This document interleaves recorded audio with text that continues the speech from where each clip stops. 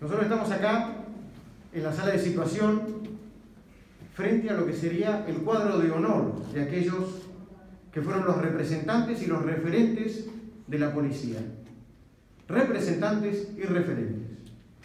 Cuando nos encontramos con una persona que ha cometido un delito tan horrendo como el que se presenta hoy en día, no lo podemos tener dentro de lo que es el cuadro de honor de la institución policial porque no la representa.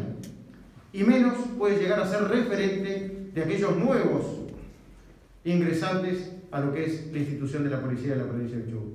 Este es un delito aberrante, eh, el abuso en la infancia tiene secuelas muy grandes, es por eso que les pedimos a la sociedad en general que por favor eh, tome conciencia los recaudos necesarios somos dos sobrevivientes, en un momento fuimos víctimas y hoy pesa el dolor y pesa lo que cuesta mm, conllevar eh, este dolor del abuso. Eh, somos activistas y luchamos contra el abuso en la infancia. Hoy, con la presencia del ministro y las víctimas, procedimos a bajar ese cuadro, esos cuadros, entendiendo que este delito aberrante no da margen no da posibilidad a que siga un minuto más en ese mural de honor.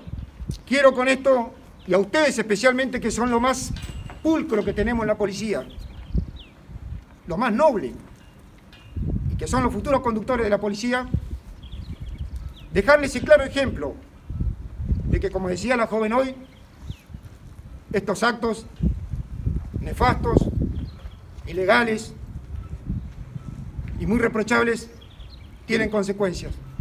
Esta es una de ellas.